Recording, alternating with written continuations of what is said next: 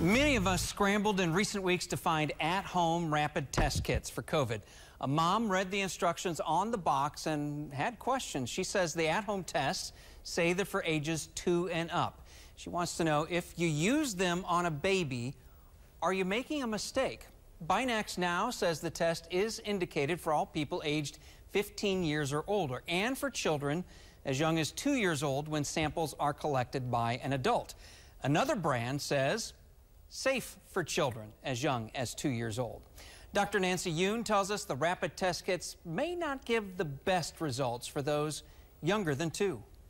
It's not exactly known how accurate they are um, for children who are less than two um, because they haven't been studied in that way.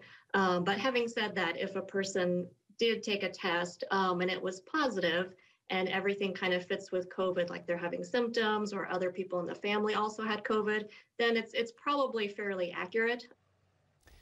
Dr. Yoon again says if you have a baby and the home test does not fit the symptoms, you may need to get a PCR test at the doctor's office. That test uses a different way to identify the virus, and that type of test may take one to two days for you to get an answer to get a result. Now, we did contact three manufacturers of the rapid test kits for comments. At this point, they have not responded to us. So, are you making a mistake, potentially doing harm to your baby? We're going to say no in this case. Just keep in mind the accuracy of those tests for those under two has not been proven or studied. If you have something you want us to investigate, you can email us at factfinders at ky3.com.